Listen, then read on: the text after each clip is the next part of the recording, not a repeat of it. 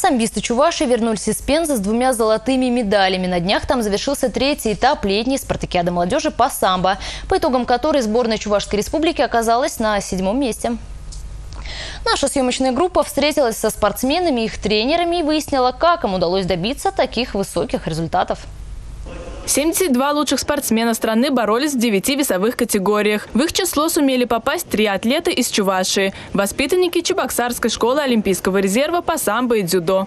Рассчитывали, что ребята отборются хорошо и покажут, ну, естественно, выиграют эти соревнования, потому что они и прошли сборы и готовились, настраивались, и на самом отборе тоже неплохо отборолись. Поэтому мы думаем, что ребята сами старались и добились таких результатов. Первое золото в копилку чувашской сборной принес Александр Федоров, выступавший в весовой категории до 57 килограммов. Сейчас спортсмен на сборах в Анапе. Второй победитель спартакиады – мастер спорта международного класса Максим Иванов. Он также сумел превзойти всех соперников в весовой категории до 74 килограммов. На будущее у Максима грандиозные планы. На следующий год хочу выиграть чемпионат России и отобраться на мир.